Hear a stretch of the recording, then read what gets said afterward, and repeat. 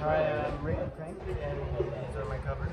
That's like the first thing they said. I'm like, dude. Uh, this is a Thrasher cover from a skate a girl tour called High Fives at the I Oh, Five. okay. And uh, Lance just happened to be in Oregon when we were there.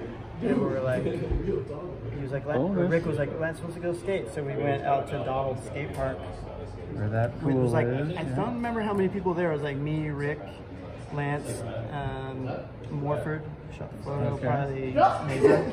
Yeah. And then uh, recession. I remember he had his hand on my back as we carved over the stairs, and I was like tripping because he's so good. Yeah.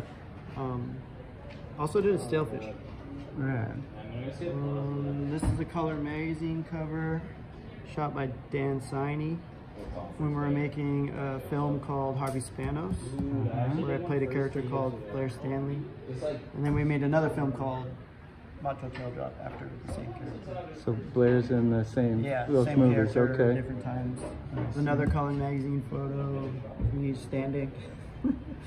that Dylan Doubt shot. Okay. I think I have an interview on this one. That was an easy one. Yeah. Um, this was a Scott Palme photo. We were in Portland. There's a couple Portland ones. And this guy Matt Hansen actually set us up to skate, and we were skating it. And it turned out to be a cover. Cool.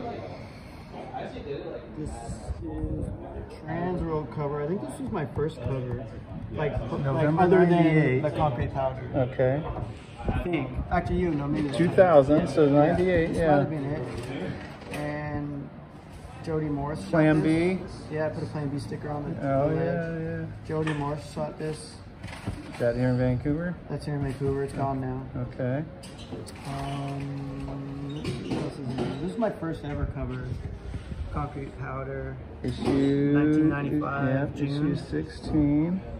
Um, The new spot? that's the new spot. Yeah. That was the first day I ever skated in Vancouver. Oh. Um, I lived in Whistler, and this guy cold called me and said, "Hey, you're a good skater. I heard you're a good skater. You want to come skate in the city?" And I was like, "Sure." This guy Brad, and we met up with Scott Serfas, who shot this photo. Okay. And I also met Moses Itkonen, and I think Colin McKay. That day, and Moses gave me this board. It was a used board that he had, Oh Yeah. That was crazy. That became covered.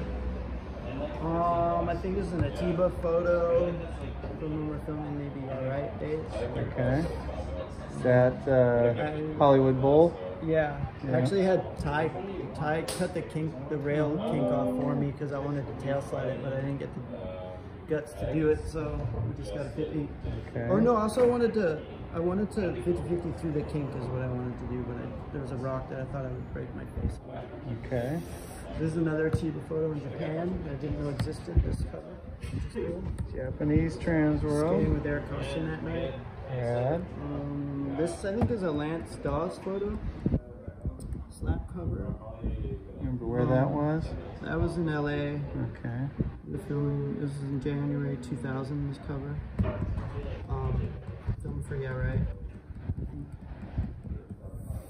Or no, Menikmati. maybe. Menikmati. Okay. Yeah. Um, this was from the first King of the Road. The First one. Pretty Okay. sure. Luke Ogden photo. Some people that Harold Hunter might be in here somewhere. He was our guest guest pro.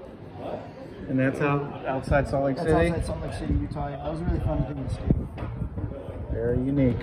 Yeah. Okay, and then there's this other concrete powder cover. I can't remember. I think it's maybe another. Oh, almost on the side.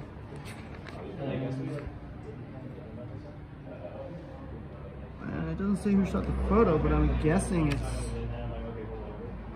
Dylan Doubt. I Okay. could be wrong.